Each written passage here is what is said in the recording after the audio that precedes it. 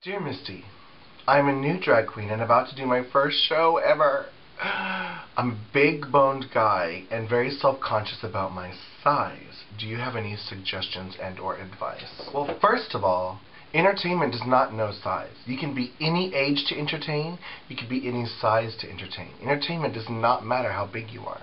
If you want to look like a real girl shopping for tampons at Walmart in the daytime, maybe you might be too big. But to entertain on stage, there's no such thing. And I have recently come to the conclusion that I am an I am a reverse anorexic. Meaning, anorexic people look in the mirror and they see a huge fat person. And they starve themselves. Oh my god, I'm too fat. I have to lose weight. I have to lose weight.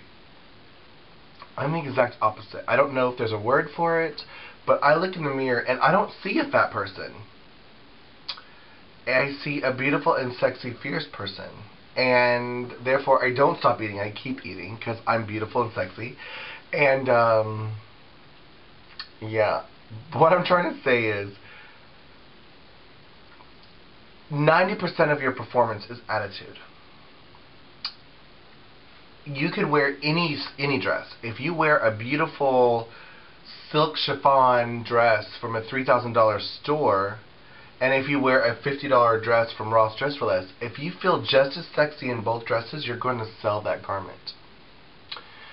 It doesn't matter how big you are, as long as you feel fierce. And then you can turn it and be amazing. Anyways, yeah. But advice for entertaining, me personally, and I say I see a beautiful, sexy person, which is true, because a lot of times I look at pictures and I'm like, oh my god, I'm not that big, really? Am I? And, but at the same time, when I look at these beautiful, skinny trannies performing, sometimes I feel like, oh my god, I can never be like that. So I do songs that are blatantly erotic or sexy or dirty, whereas somebody beautiful and sexy can do any song and turn it sexy style. You know what I'm saying? So I hope that could help. Anyways, that was Ask Misty.